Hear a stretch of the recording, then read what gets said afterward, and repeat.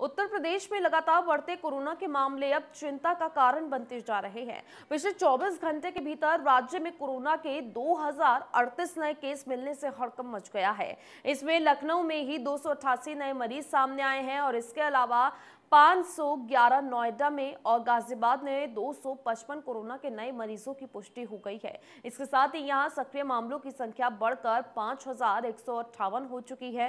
हालाँकि महामारी में अब तक कुल 16 लाख से ज़्यादा लोग ठीक भी हो चुके हैं। इससे के चलते सूबे में दसवीं क्लास तक के सभी स्कूल 16 जनवरी तक बंद करने के आदेश भी जारी कर दिए गए हैं। मुख्यमंत्री योगी आदित्यनाथ ने कोविड के बढ़ते मामलों को लेकर स्कूलों को बंद करने के निर्देश दे दिए हैं।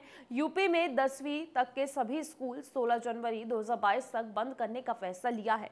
सीएम के फैसले के बाद गृह विभाग के आदेशों में कहा गया है कि उत्तर प्रदेश में दसवीं क्लास तक के सभी स्कूलों में सोलह जनवरी तक अवकाश घोषित किया जाए और ग्यारहवीं, बारहवीं के बच्चों को केवल टीकाकरण के लिए ही स्कूल बुलाया जाए। टीकाकरण के अगले दिन इन बच्चों को छुट्टी दी जाए और ऐसे में ग्यारहवीं, बारहवीं के विद्यार्थियों की कक्षाएँ ऑनलाइन माध्यम से ही संचालित की जाएँगी।